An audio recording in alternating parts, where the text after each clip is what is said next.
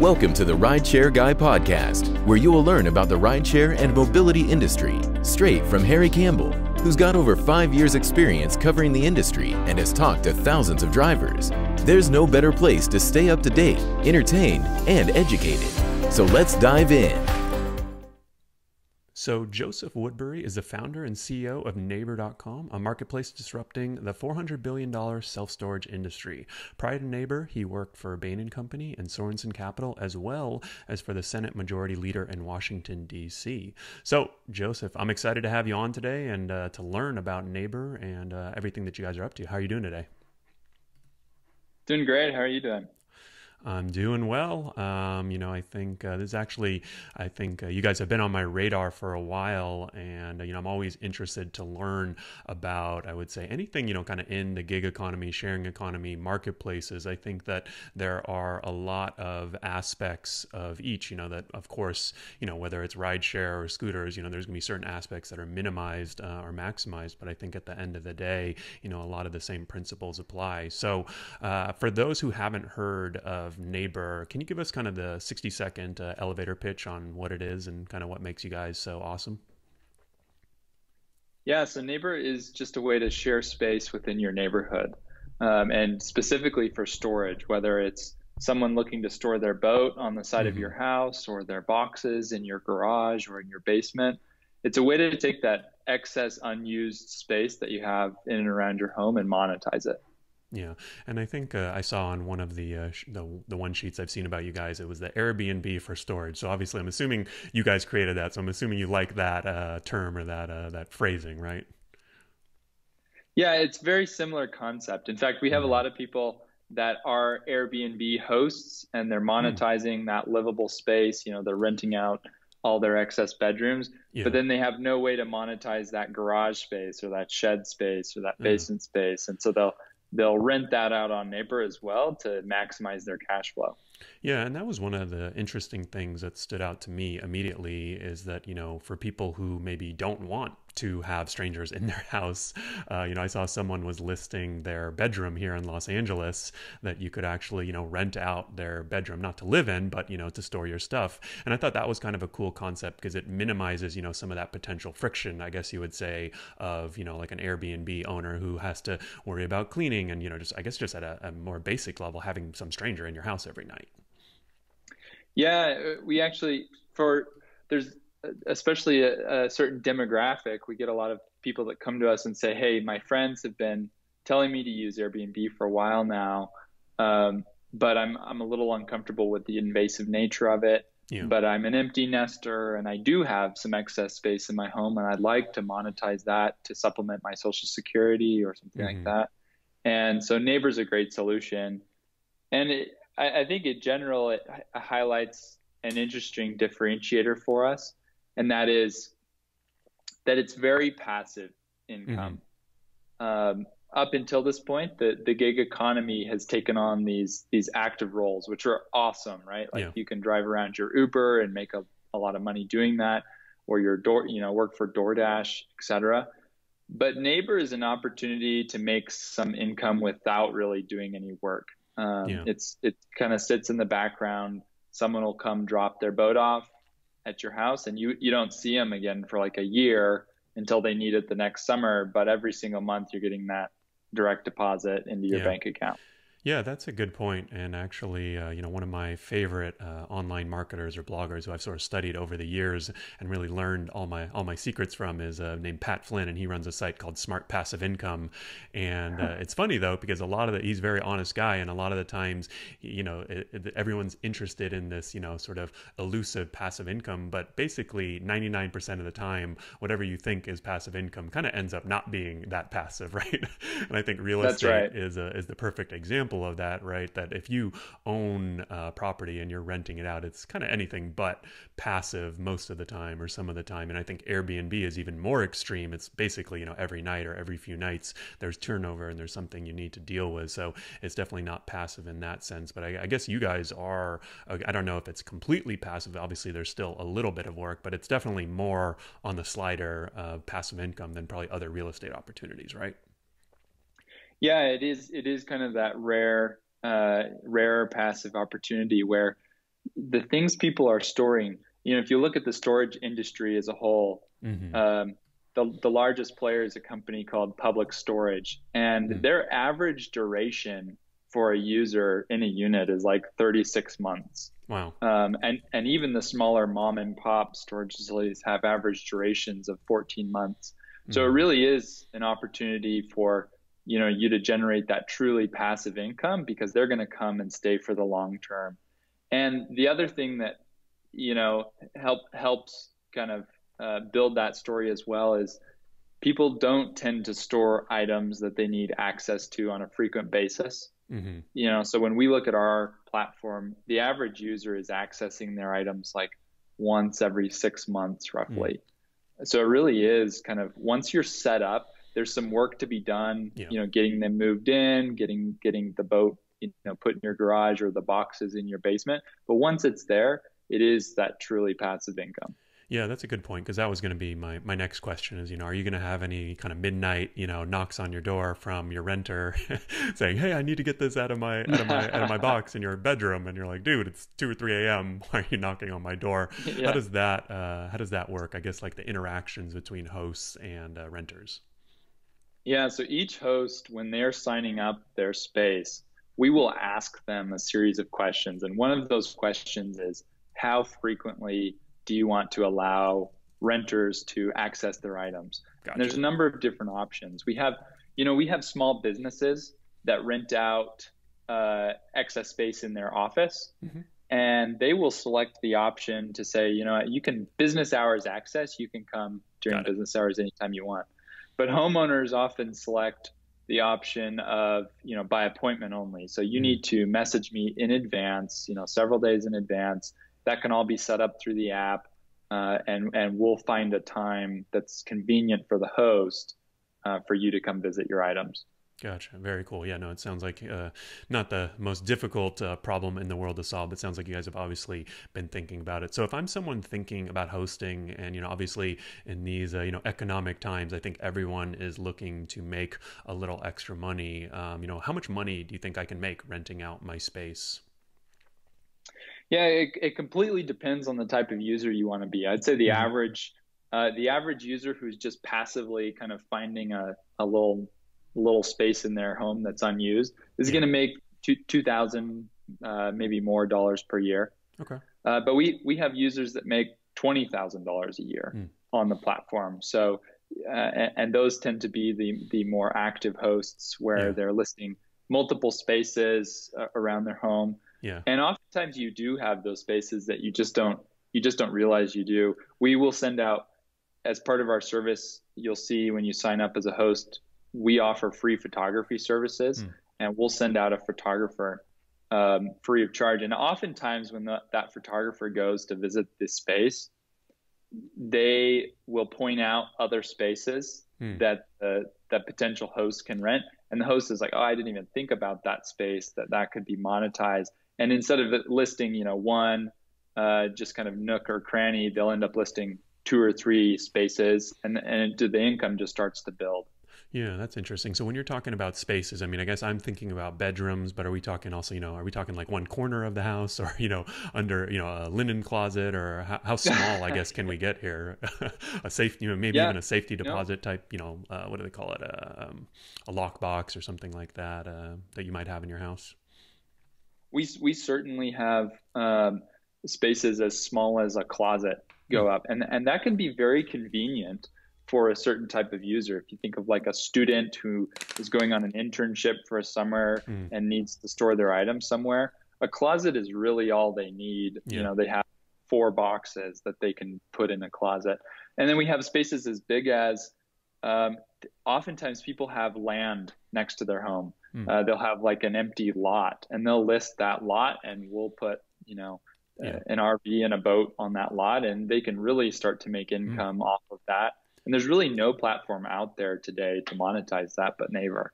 Yeah, and that's interesting because you know I think in the in the gig economy, as I sort of know firsthand, you know, there's a lot of variability, and it was a li- it's a little bit of an unfair question to ask. You know, how much money can you make, right? Because there's so many different options, but it's something someone people always ask me about Uber and Lyft drivers, and I think that there's less, you know, in the gig economy, like from a worker's perspective, if you're driving for Uber and Lyft or delivering food, you know, I think that there's less uh, variability because you know you're still sort of doing the same job at the end of the day. But I do tell sure. people, you know, frankly, like we've seen, you know drivers with more experience make five dollars per more per hour, right? Um, those that kind of know what they're doing can make more money. Those that are like signing up for the best services, the you know the quickest, and getting the best bonuses, and you know staying on top of all that can. And I think that's one of the the cool things about the gig economy and with a service like yours is that you know the average person might be making $2000 a month but or $2000 a year sorry. Um, but if you have you know some extra space or if you're willing to get creative or if you kind of understand you know the needs of the users in this community you can do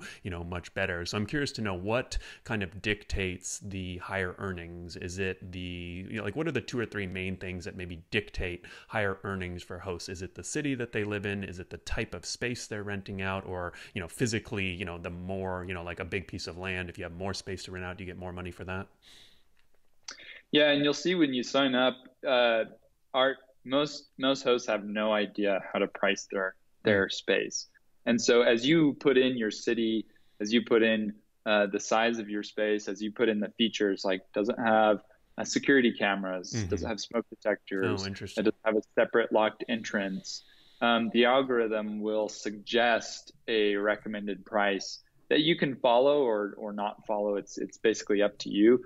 But but that price basically gives you a 90% greater likelihood of mm-hmm. getting rented. Um, you know, we we've watched what gets rented in that city. So yeah, you're right. It it absolutely depends on the city.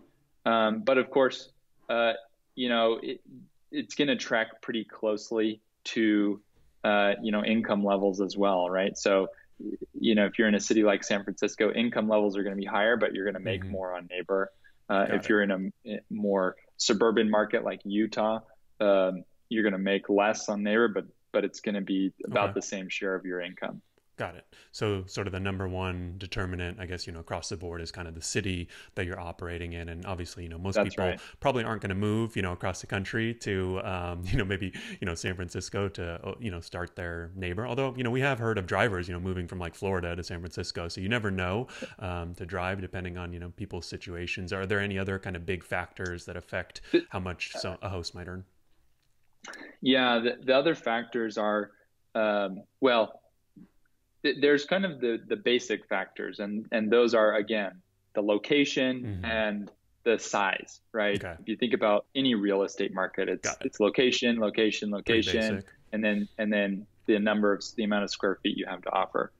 But when you get into like who does well on our platform, mm-hmm. um, the the major things that matter are you know nice photos. Those spaces get rented the fastest and they stay rented the longest uh, because the the renter is able to envision the mm-hmm. space mm. they're getting into there you know we we had a we had a question when we got into this whether renters mm. were going to value those photos because it's less of an experience yeah. like an Airbnb they're not staying there they're just a, putting their junk there right they're just putting their stuff there exactly but they do it's it's one mm. of the most statistically significant factors on our site um, in fact you're you're more than twice as likely to be rented if you have four photos or more on our site.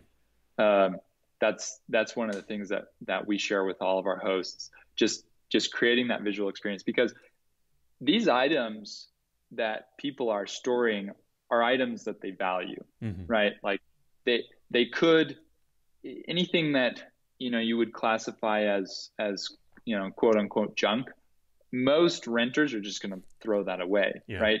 They they are storing, they are paying That's to store these items because they want, you know, because they value them yeah. and they want to keep them. And so being able to visualize that space and see that it's a nice space that, that's taken care of. And, and a lot of times these are high dollar items, right? Mm-hmm. We store, um, you know, one of the more common items stored on our platform is like classic cars, right? Oh, we, wow. we get, you know, 69, uh, Camaros and mm-hmm. Corvettes mm-hmm. and you know all these classic cars or boats, right? These are boats that people pay you know fifty thousand dollars fifty thousand dollars to purchase, and then they're storing um, on the on the platform. So so that's I think the single biggest determining factor, and then the responsiveness. Oftentimes rentals will come on and they'll look at your space, yeah. and then they'll look at a couple more spaces close to you. Um, and it's those hosts that are kind of engaged in the platform and are very responsive Mm-hmm. and answer questions quickly that the renters decide to go with because they feel comfortable, you know, transacting with that that Yeah. person. Yeah, it makes sense. And I mean, you talked about sort of the value of the items that people are storing. And I think you brought up a, a good point. You know, I probably, as the host, look at it as junk, but the uh, person, you know, that's renting this space for me, I mean, that's really, like you said, that's the reason why they're renting this space because they value it. Maybe it has sentimental value or, you know, some perceived value, uh, you know, monetarily or whatever it is. I did notice on your site you have a $25,000 protection because that would sort of be what I'm thinking. You know, am I putting myself at any risk? Uh, liability wise. You know, I'm assuming in, in a bedroom type situation, there probably isn't going to be anything, you know, that $25,000 might cover me. But if I'm storing someone's, you know, 69 Camaro or Corvette, I'm assuming that's worth a lot more than $25,000, right? Yeah. And, and, you know, I, I, think it's worth calling out how unique that is in the storage industry. Mm-hmm. Most people, I don't, I don't think are aware, but when you store your items in a, a storage, you know, a, a commercial storage facility, those items are not insured. Oh, really? Right. The the if the place you know burns down, you're completely on the hook mm. for your items, even if it's burglarized. Are, even if it's burglarized mm. or anything, like you're literally just renting a spot to put your items. Mm. Uh, it, it's it's the the storage industry is very poorly serviced that way, and that's because there's there's so much more demand for storage than there is available supply and so the storage facilities kind of set the rules. Mm-hmm. And there's some facilities out there that will go, you know, an, another step beyond that, and they will offer like a third party insurance policy mm-hmm. that you can tack on on top of your storage contract. So I pay $400 a month for my storage unit, and then for an extra $15, $20 a month, I can get $5,000 of uh, insurance coverage. Got it we basically wanted to come in and just like blow up that whole paradigm. Mm-hmm. So we have, uh, you know, we're not aware of any other storage company in the country that covers your items up to $25,000, which is mm-hmm. way more than anyone else is doing, uh, completely just baked in a part of using the service. Um, so we we very much consider ourselves. The other thing worth calling out is these residential areas where uh, our hosts exist mm-hmm. are extremely safe, right? Mm-hmm. Uh, when you look at the the break-in rates on storage facilities, it's it's according to the FBI, it's something like one in ten storage facilities that's broken mm-hmm. into every single year, and that's because they're in these industrially zoned yeah, areas. You kind of know there there are items there. More than half of all storage facilities don't even have security cameras, hmm. and so they're they're kind of targets. But these these residential areas, on the other hand, there's alarm systems, there's yeah. there's people around, there's dogs, and so they have much lower crime rates. So not only are you getting better insurance protection on neighbor mm-hmm. completely free, um, but also you're storing in a safer location. Yeah. And I think you brought up a good point because I think one thing we've seen is that a lot of times with these platforms and gig economy companies, you know, there's minimum requirements, but there's also, you know, some basic stuff that you can do to protect yourself either as a host or a renter. So, like, I'm thinking about it from a host perspective right now, like installing a SimpliSafe system, which costs, you know, a couple, two to three hundred dollars up front, but then $25 a month going forward. You know, that maybe is a cost of doing business, you know, um, but it also provides your own home with security security, right? So I can kind of imagine, okay, I'm making $2,000 a year. I invest in a SimpliSafe, and it kind of provides that additional security not only for my personal stuff but now for the stuff that I'm also protecting right? Because really you know I think what a lot of people get into this gig economy and they don't realize that they're actually now a business owner. And so they have to think about you know not only their income but also their expenses and potential liability. So that's like a really good example to me. And you know kind of uh, we, we don't need to get into all the taxes but I know that I would you know if I was doing that I would sort of be I would deduct the percent that I'm using that from my business. You know I would be able to deduct that on my taxes and offset some of that income from from Neighbor too, which is a cool thing. So um, I, I, actually, now that I think about it, I, I, I don't know if you know if you want to share all the details, but I'm sure that there's some good tax benefits too if you're renting out a space in your home. There very much are, and, to that point about you know taking on liability to, as a business owner, that is what you're doing as a host. And so, not only do we provide that twenty-five thousand dollar guarantee for the renter's items, but we also cover the host up to a million dollars hmm. for their general liability as part oh, of being a. Uh, we're we're kind of the first uh, marketplace that we know of that has come in and protected both sides of the marketplace, mm. right? you know you think traditionally like Airbnb they they protect the hosts, but the the tenants don't really bring anything to the transaction. Mm-hmm. Um, same with Uber, like they'll protect the car uh, and the the driver, but the rider may not bring any items to the transaction. But we actually come in and, and both sides are bringing something to the transaction, mm-hmm. and so we we step in and protect both sides of the platform. Uh, and you're right about the tax benefits as well. Uh, we'll have we'll have hosts. There's there's even more affordable options out there. Uh, I don't know if you've seen like the Wyze cams. Mm-hmm. Um, yeah. That people use. We'll have people buy a, a twenty five dollar uh, Wyze cam and and install it. You know, uh, so for twenty five dollars you can have uh, basically a video surveillance system watching the items. Mm. Um, but all of that you can deduct as a business expense. Yeah. Uh, yeah. And yeah. Interesting. Yeah, very cool. And yeah, no, I think there's a, again, you know, I think it kind of goes back to the fact that if you sort of really know what you're doing or you're really researching these things, you can kind of really, um, you know, like this could end up, you know, kind of you might be reporting a tax loss on your taxes that could offset some of your W two income, even right? If but you might actually be making money. So uh, very interesting. Be, because it's in your home, you can actually deduct, you know, the square right. footage percentage of the home that you're using yeah. which is is so awesome because and and we'll have people write in about this.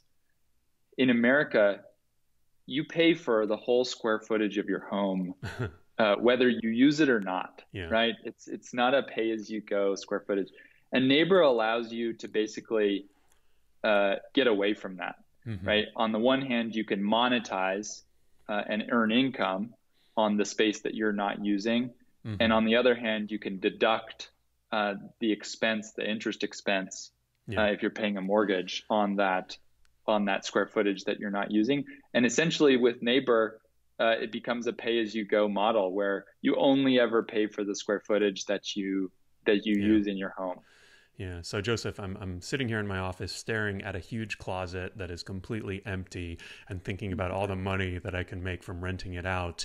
But it also kind of begs the question, this is a marketplace, right? And so there, you know, it, it sounds pretty good from the host point of view. So I guess my question is, you know, what does that marketplace look like from sort of the supply and the demand side? Do you guys have a ton of hosts or do you, you know, where's the uh, sort of, um, you know, I guess I would say like the the, uh, the impediment to growing, you know, to millions and millions of uh, users.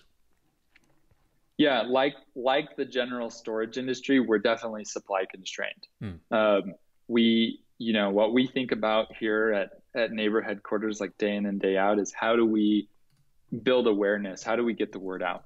The those that are searching for storage, hmm. uh, again, they're searching, right? They yeah. they are looking for storage. When they need a storage unit, they will they will go on and try to find a, a storage unit, and we can we can advertise and insert ourselves there, and mm-hmm. and we mm-hmm. can show them that not only are we safer uh, and more insured, but we're closer to your home, and we're 50% the cost of yeah. a traditional self storage unit. Yeah. Um, so you, the average renter saves two thousand dollars by switching from a uh, traditional yeah. self storage unit to a neighbor unit every single year. Yeah. Um, and so those, you know, very easy to come by. But what uh, is more difficult, all, and I think this is typical of marketplaces, is that those hosts they're not searching. You know, they're not mm-hmm. they're not searching. How do I monetize my garage, right? Yeah. And so we have to educate them and build awareness. And the more awareness we build across the country, the more um, those hosts sign up. There's not much convincing we have to do of the hosts. It's mm. really just about creating that awareness as as our brand recognition has grown, you know, especially after, over the last couple of years, we've gotten to the point where we now have active hosts in all 50 states. Oh, cool. um, so again, it's it's not a, really a question of of convincing them of the value. It's it's pretty easy value prop like just getting you, out there.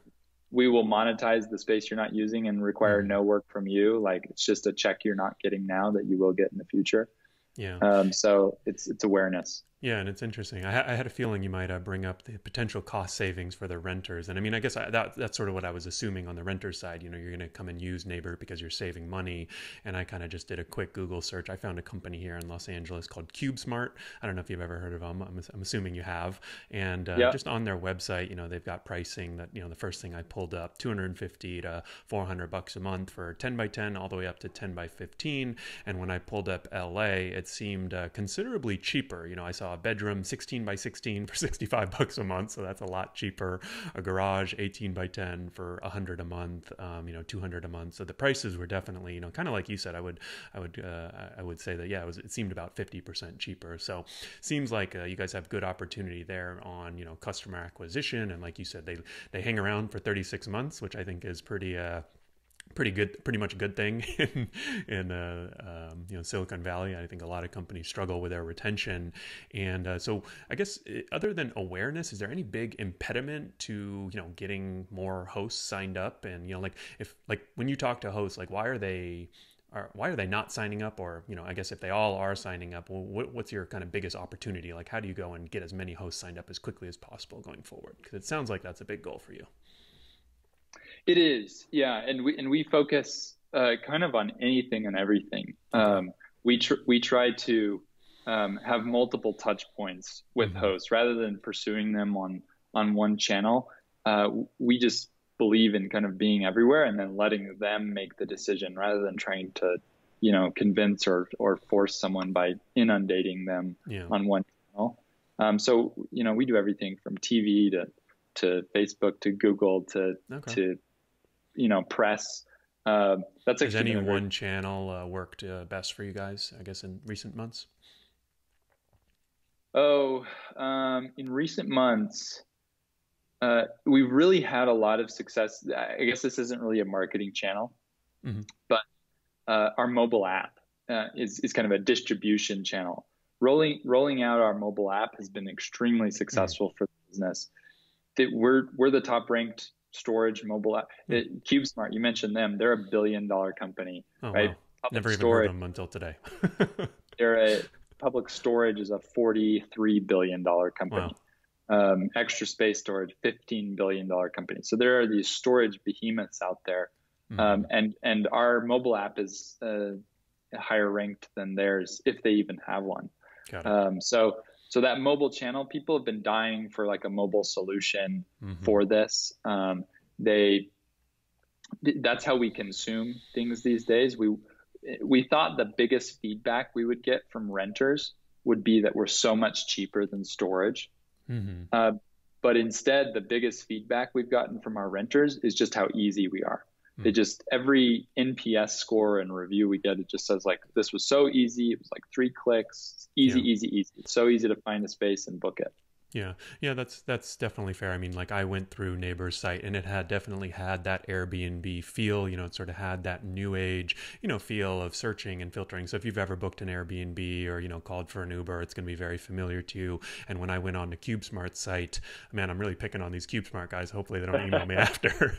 Uh, their site looked like basically straight out of the '90s. You know, like little tiny images and little reserve buttons and little slashed off pricing. You know, kind of like a lot of the the, the marketing 101 schemes from the '90s. So it's definitely interesting to see that uh, juxtaposition there.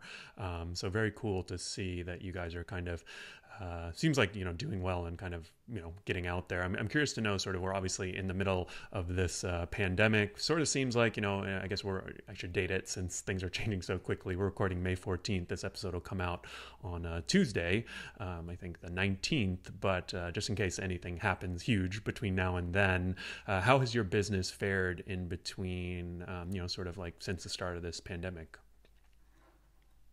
Yeah, that's actually a really relevant question for us. Um, the pandemic has just destroyed a lot of the marketplaces uh, mm-hmm. from you know Airbnb to Uber.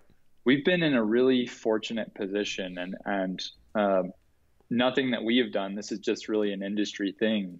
Um, storage is actually pretty counter cyclical, mm-hmm. Um, so it does better in recessions. So mm-hmm. the demand for storage has never been better. Just last week, again, this is you know recording this in May. Just last week, we had our best week of all time mm-hmm. um, as far as incoming revenue uh, from renters. And then on the host side, there's never been a greater opportunity, you know, greater need to make income from confined to your home uh, than there is now with people experiencing layoffs and unemployment rising. People need income right now. They need to be able to still make those mortgage payments, and Neighbor provides a way uh, for you to do that. Uh, an article just ran in the U.S. News mm-hmm. um, yesterday, I think, or a couple days ago, talking about you know how retirees especially need need a way to make income from their homes because they're yeah. essentially home um, and and they listed neighbor as one of the options of like this is how you can make income mm-hmm. and the last you know related to the pandemic is any marketplace that's travel related has been essentially been shut down but that's another unique thing about our marketplace it's very mm-hmm. hyperlocal right there's a reason we're called neighbor mm-hmm. uh, and and it that's it's it's it's not a monetary benefit but you know, when you go stay on a on Airbnb with a host in Thailand, it's like this great multicultural experience. But you're probably never going to talk to that host again. Yeah. But on Neighbor, there's this ex, you know, externality, this other benefit that when you're storing with your neighbors, your people that are in close proximity to you, it's an opportunity to build a relationship. And we'll have people write in and tell us, you know, I've lived next to this neighbor for five years and never really said more than hi to them. Yeah. But I rent their items and they helped me move into their garage. And uh, you know, we realized that that we actually have a lot of common interests and and you know, they're a Democrat and I'm a Republican and we don't hate each other, sort of thing. It just it forces people to get to know their neighbors, and we think that community building is really valuable.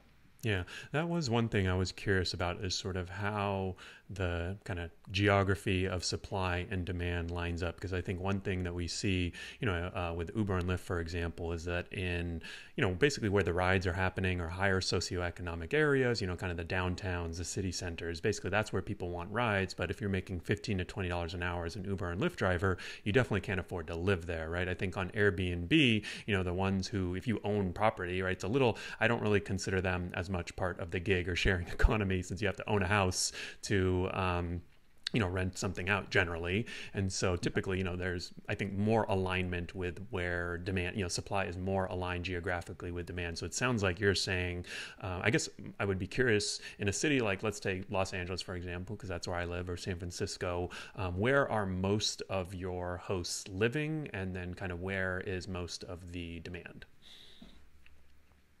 Yeah, and and that's another nice thing about storage is it's it's pretty universally distributed. Mm-hmm. Um, one in ten Americans is currently in a storage contract, mm-hmm. uh, so it's it's widely used. And you'll go to a town that doesn't even it's so small that it doesn't even have a post office, mm-hmm. and it will have two or three storage facilities. Mm-hmm. Um, and so our distribution of renters is everywhere. You get people downtown uh, who are, uh, you know, living in a small condo in a high rise, and because they don't have a lot of space, they need storage, right? And you'll get people that live in the suburban areas of the town um, that have some, you know, they have a boat or something. They have toys, right? They don't have place to store them. So it's pretty widely distributed, and that's reflected in our host population as well. Mm-hmm. Like if you go on a map in LA, we have as many hosts in uh, El Segundo as we do in uh, you know uh, downtown LA, as we yeah. do in uh, Pasadena, as we do you know as you get further out, yeah. as we do in yeah, I guess that sure. kind of makes sense too, right? Because I guess regardless of whether you live in, you know, the downtown area or the suburbs, right, you kind of still the storage needs of people and you know, kind of the tendency for Americans to kind of buy more stuff than they need kind of exists whether you live, you know, downtown or uh, outside in the suburbs. So, are there any, uh, you know, big macro trends that you think kind of play have a big effect on your business? I'm thinking maybe, you know, like a, a couple years ago, right? There's this whole Marie Kondo movement. I'd love to know what you think about her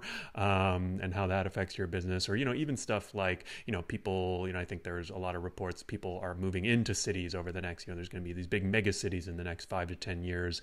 Um, but at the yeah. same time you know housing costs are going up you know in places like uh, san francisco. So sort of a loaded question but if there's any one or two macro trends you think really affect your business and how you thought about them i'd be really curious to know. Yeah we're big fans of marie kondo. We think the move he's doing is awesome because those people that are that are you know creating those clean spaces in their house that's all of a sudden an opportunity to monetize that mm. space right? That that was that was space that was being taken up, up by items that did not spark joy for you but uh, but can now you know be bringing you income like yeah. actual dollars in your bank account. And that does often bring joy right? Dollars yeah they, they, tend to be correlated with at least a little bit of joy. Yeah. Um, you know, if you really want to get into like long-term macro trends, we think that we represent kind of the the saving company for the storage industry. The storage industry has just fallen behind more and more every year on the supply needs. Mm-hmm. Uh, there, last year, I think the storage industry spent five and a half billion dollars just on new construction mm-hmm. for new spaces, and they're building all of this space, and they just can't keep up. Every year, the demand uh, fills all the space they build and more. I think the average occupancy right now is in, in nationwide is 93% mm-hmm. in storage facilities. So uh, 93% of all units are full, which means that most, a lot of storage facilities are at 100% occupancy, right? They, they literally have no units to offer you. And uh, one of the things that we're looking forward to on the horizon, again, this is this is years away, but just kind of shows how yeah. we sometimes think about things is when people are talking about self-driving cars um, and the opportunity to participate in a uh, you know subscription car service right mm-hmm. rather than buying a car what that's going to do is it's going to uh, free up a lot of garage space mm-hmm. and as that garage space is freed up you know we as a company can help uh, repurpose that space and we hope to, you know, one day essentially eliminate the need to spend billions of dollars building all of this new space. Like, let's just use all the yeah. space we have. I just listened to a podcast uh, uh, last week, or I was watching a video or something where Bill Gates was talking about some of the more serious environmental problems we face. Mm-hmm that for a while, you know, the, the big problem we were focused on was was kind of meat production and, and that sort of thing. But he said that's that's largely been solved at this point. There's there's solutions for that with these companies like Beyond Meat and, mm-hmm. and other. Um, he said, as I look forward, the single biggest problem that I don't know how to solve is all of the uh, you know greenhouse emissions that go into concrete and steel production. Hmm. That's the single biggest problem I'm focused on tackling with the environment right now.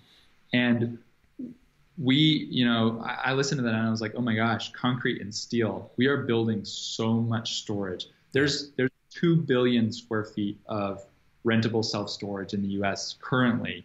You could fit every man, woman, and child simultaneously uh, in a storage unit um, at the same time, right? Like that every man, woman, and child in the United States. Mm-hmm. Already, as a company, even though we're you know we're still a small and growing company, we've offset uh, well over half a billion dollars in in construction costs that would have needed to occur mm-hmm. uh, if we didn't exist, just by onboarding space that already existed. Yeah. Very cool. Yeah, and I have to say, Bill uh, Gates is turning out to be a very prescient individual. So he's probably someone we should listen to when it comes sure. to uh, all matters of uh, economy, society, or technology. Um, so really appreciate you coming on, Joseph. Uh, if people want to learn a little bit more about Neighbor, uh, maybe check it out as a host, maybe check it out as a renter. I know I'm interested in making a little. I'm always interested in making a little extra money, as my audience likes to know. Um, where should they go? neighbor.com and and you know we're as I mentioned like we are really pushing to meet the storage demand that we have. Mm-hmm. You know, so especially if you have space, you know, that's what I'd say. If you have space in your home, neighbor.com, you can download this on the App Store. Um, right now, we're even, uh, you know, we're giving away Amazon gift card you know, if you sign up, cool. If you if you go to we set up something for this podcast. If you go to host.neighbor.com uh, slash uh, uh, rideshare, then uh, we will give an Amazon gift card to every single host that signs up, plus Very send cool. them a swag bag with a bunch of neighbor stuff. And so we'll get them hooked up. Nice. Hopefully, uh, if I sign up using my own code, I'll still get the swag bag and the and the gift card.